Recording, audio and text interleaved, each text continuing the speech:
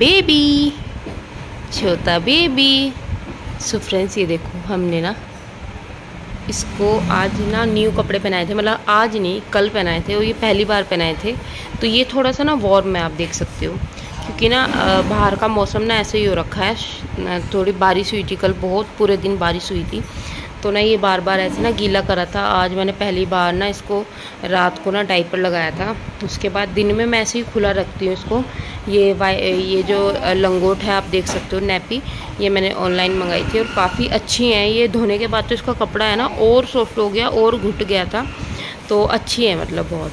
और ये देखो यहाँ पे ना छोटा बेबी मैंने इसको लेटा दिया है। मम्मी ने कहा है कि थोड़ी देर मैं इसे लेटा दूँ ताकि इस ये हाथ पैर चलाए और एक्टिविटी करे कुछ और रोए खुल के। Hi welcome back to my YouTube channel so friends आज है डे सिक्सटीन मेरी डिलीवरी का और हालत आप देख सकते हो। फेस ना डल होता जा रहा है बिल्कुल डे बाई डे बट कोई नहीं, बाद में हम देखेंगे। और ये देखो, यहाँ पे ना इसने रोना शुरू कर दिया है। सो फ्रेंड्स मैं आ गई थी अपनी मम्मी के यहाँ पे। आपने मेरा लास्ट ब्लॉग देखा होगा। ब्लॉग नहीं, छोटी सी एक क्लिप थी दो मिनट की कि छोटे से बेबी का स्वागत किया था मम्मी ने यहाँ पे। तो मैं मम्मी के यहाँ आ गई हूँ क्योंकि वहाँ पे मैं अकेली थी और यहाँ पे मम्मी को घर भी देखना होता है। तो मम्मी मुझे अपने साथ ही ले आई थी और मैं इसको ले लेती हूँ गोद में। इसको मैंने अब गोद में ले लिया, ये देखूँ। फ्रेंड्स इसको भी पता लग गया कि ना गोद में लेके मतलब मुझे गोद में लिया हुआ है या फिर नीचे लेटाया हुआ है। छोटे से बेबी को इसको भी पता लग गया है तो ये गोद में रहना ज़्यादा पसंद करता है। इसको वो कहते हैं ना, गोद की आदत लग गई है, वो लगी जाती है, कोई नहीं लगाता। बच्चे को खुद ही महसूस होने लगता है कि मुझे गोद में लिया हुआ है या फिर बेड पर नीचे लेटाया हुआ है। तो ये देखो, यहाँ पर ना अभी सोने की इसमें कंडीशन में है ये। अभी थोड़ी देर में ना इसको ऐसे हिलाऊँगी ना मैं हल्का हल्का तो ये सो जाएगा। अभी इसका पालना भी लेके आना है। पालना मतलब लेके नहीं आना। पहले का ही रखा है जियांस का। वो जियांस ने बहुत कम यूज़ किया था। वो दिया था इसके मामा ने गिफ्ट तो वो घर रखा है। वो भी ले आएँगे संडे में इसके पापा। और मैं आपको ये बताती हाँ डिलीवरी का डे 15 है और फेस बड़ा डल होता जा रहा है, लेकिन कोई नहीं, बाद में सब ठीक हो जाएगा। और मैं मम्मी के यहाँ पे आई हुई हूँ तो यहाँ पे अब मेरी खातिरदारी होगी। तो अभी कुछ भी काम करने का मतलब ऐसा नहीं है कि मैं काम कर रही हूँ, बस इसका ही काम करती हूँ थोड़ा बहुत, जैसे इसकी नैपी चेंज करती है शीट्स वगैरह चेंज करती थोड़ा बहुत जाँच को देखना। बस इतना ही मैं काम कर रही हूँ और बाकी कोई काम नहीं कर रही और आप मेरे बेड का हालत देख सकते हो, ये बेड मेरा ही है पूरा मतलब मुझे ही दे दिया मम्मी ने। तो इसमें मैं जान और मेरा बेबी सोता है। छोटे वाला, मम्मी भी लेट जाती है कभी कभी तो ये देखो इसकी हालत ना रात भर में ना ऐसी हो जाती है। रोज़ इसको सेट करना और फिर रोज़ ऐसी हो जाती है क्योंकि बच्चे के साथ आपको पता है, हर जगह तो इसके कपड़े सूखते रहते हैं, बाहर भी इसके कपड़े सूख रहे हैं। सो फ्रेंड्स यहाँ पर ना मम्मी मेरे लिए बना रही थी मूंग की दाल, मूंग मसूर की। तो खुले में आज खुले तरीके से बना रही थी क्योंकि मैं ना दाल खा खा के ना बोर हो गई हूँ। तो मम्मी ना हमेशा ना अलग अलग तरीके से बनाती है। कभी कुकर में छोंक लगा देती है, कभी तड़का अलग से लगाती है, कभी इस खुले भगोने में बना रही हैं। तो इसमें तड़का ना जो ऊपर से डलेगा। तो वही यहाँ पे दिख रहा है आपको कि दाल मेरी बन रही है और यहाँ पे ये है मेरी सेहत का खजाना। मतलब कि जो डिलीवरी के बाद जो खाते हैं वो है ये, इसे सांदा बोलते हैं। आपकी भाषा में से क्या बोलते हैं प्लीज़ मुझे बताना। तो ये मैं सुबह शाम एक कटोरी खा रही हूँ मतलब एक कटोरी नहीं, एक कटोरी थोड़ा सा कम रहता है। तो ये वैसे तो दूध के साथ ज़्यादा अच्छा रहता है, लेकिन मैं दूध नहीं पीती तो मैं इसे ऐसे ही खा लेती हूँ।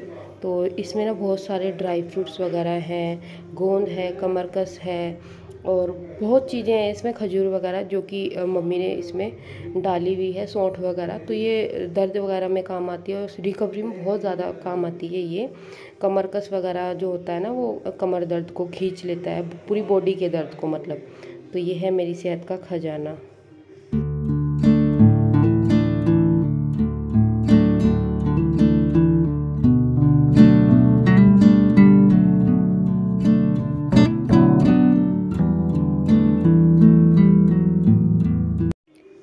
फ्रेंड्स यहाँ पे वैसे तो मैं कोई काम नहीं करती घर का, लेकिन थोड़ा बहुत काम मैं कर लेती हूँ अब, क्योंकि सारा दिन तो आप मरीज़ की तरह नहीं पड़े रह सकते। मेरे से तो बिल्कुल नहीं पड़ा जाता तो मैं यहाँ पर अपने काम तो कर ही लेती हूँ, जैसे अपना बेड बनाना और अपने लिए खाना। मम्मी तो डाल के दे देती है तो लेके आना किचन में से। बस ऐसा ही मेरा काम रहता है आजकल, और मैं ज़्यादा काम नहीं कर रही।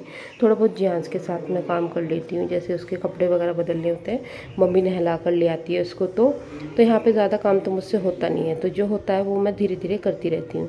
यहाँ पर आज मेरा एक पार्सल आ गया था जिसका मुझे काफ़ी दिन से इंतज़ार था और ये मेरे बहुत ही ज़्यादा काम की चीज़ है, वो मैं बताऊँगी आगे कैसे। तो ये देख सकते हो आप, ये है एक हैंगर बत्तीस क्लिप के साथ में ये आया है, मीशो से मैंने मंगाया है। तो जैसे ये होते हैं ना, नैपी होती है, लंगोट जिन्हें बोलते हैं तो उन्हें तार पे सुखाने में सेपरेटली अगर सुखाते थे ना, सारा तार एक तो वो भर जाता था, ऊपर से गिरती रहती थी बार बार। तो नैपी को सुखाने के लिए छोटे छोटे बेबी के कपड़े टी शर्ट हो गई इसके सॉक्स हो गए, बहुत सारी चीज़ें, मिटन्स वगैरह। तो इस पर सुखाने में ना बहुत ईजी हो जाता है। इसे तार पे ऐसे लटका दो या कहीं भी आप हैंग कर सकते हो, ज़रूरी नहीं है आप तार पे लटकाओ। इसे ऐसे लटका के मैं आपको ना अगले ब्लॉग में ना इससे दिखाऊँगी भी कि इसका कितना अच्छा यूज़ कर रही हूँ मैं। तो ये मैंने मंगाया था और मात्र रुपीज़ वन एट्टी थ्री का ये मुझे मिला था मीशो से। तो मुझे ये बहुत अच्छा लगा। क्वालिटी भी अच्छी है, इसमें भारी कपड़े नहीं, बस हल्के कपड़े आप सुखा सकते हो। जैसे कि छोटे छोटे बेबी की टी शर्ट हो गई पैंट हो गई है। मैं जेंट्स के यहाँ पे कह रही हूँ कि आप सबको हाई करें। तो ये बड़े काम की चीज़ मैंने मंगा ली है और इसको यूज़ करते हुए आप मुझे देखोगे। तो ये काफ़ी अच्छी निकली है। और बस उसके बाद मैंने वो रख के जेंट्स को बाहर भेज दिया था खेलने के लिए और यहाँ पर मैं अपनी बेडशीट को तय लगा रही हूँ। ये रात को ओढ़ने में काम आ जाती है आजकल ना। थोड़ा मौसम ना ठंडा हो गया है, एक दो बारिश से ना रात को ठंड लगती है। तो कुछ मोटा कपड़ा चाहिए होता है ओढ़ने के लिए तो ये बेडशीट ही हमने ले ली है, मैंने, छोटू ने और जियांस ने। तो हम तीनों इसी बेड पे लेटते हैं तो मैं तीनों को कवर कर लेती हूँ इसी से ही, अपने आप को भी।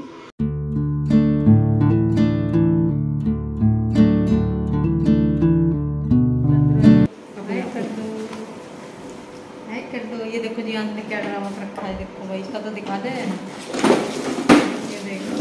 चोरी चोरी कर रहा है मेरे बाबू? दीदी चोरी चोरी कर रही हूँ। उधर देखो उधर उधर देखो उधर देखो उधर देखो उधर देखो उधर देखो उधर देखो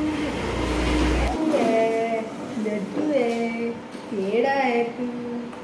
मम्मी हो रही मम्मी हो रही बाबू को। ये बढ़िया बढ़िया। अच्छे अपने देखते हो बढ़िया बढ़िया बाबू।